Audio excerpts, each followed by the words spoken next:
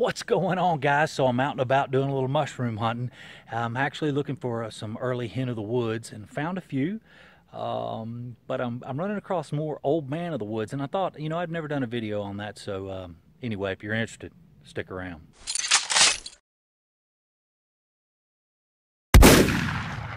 All right, so what we've got here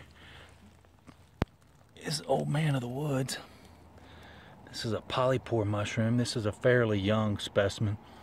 Uh, it is an edible mushroom, but I would not consider this choice by any stretch of the imagination.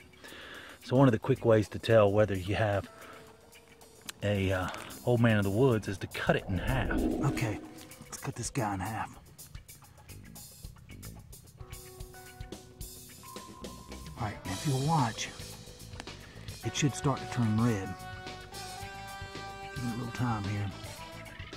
This one's turning. They're both turning. Can, I don't know if it's showing up on camera as good, but it certainly does kind of come across as a reddish burgundy color. Happens quite fast, so um, you know we're talking a minute or two, and it should be completely kind of a reddish meaty color. Very cool though. It is an edible mushroom. Again, I would not consider this a choice edible. This is more of a survival mushroom in my opinion. Super cool though. Very neat. Very plentiful this time of year too. But you can also find them in the early summer months as well. Awesome. Getting redder. Right here is a young specimen. I mean, you can see in comparison to my hand, it's a little guy. We go down here and we look at the one that we cut in half. Much larger and also much redder now. And it's only been about three minutes or so. Now, if you are going to eat this mushroom, uh, you, let me forewarn you, uh, all of this dark and black will impart on whatever you're cooking it with. So um, it can be a be a kind of mess if you're not interested in trying to uh, make it aesthetically pleasing.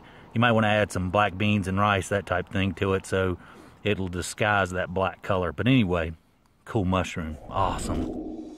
This mushroom really is a pretty mushroom. I mean, take a look at all the fuzz that's growing on the stalk, on the stalk or the stipe, even on the cap. You, this is really a good example of that.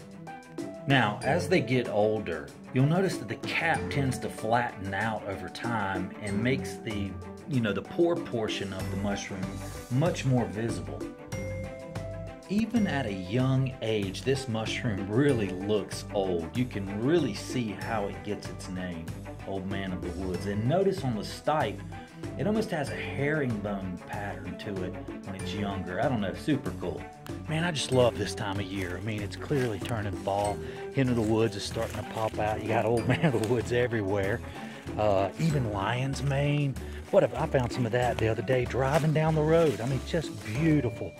Um, I just love it. This is the best time of year. So thanks for spending your time with me. I really do appreciate it. Please don't forget to subscribe and slap that like button.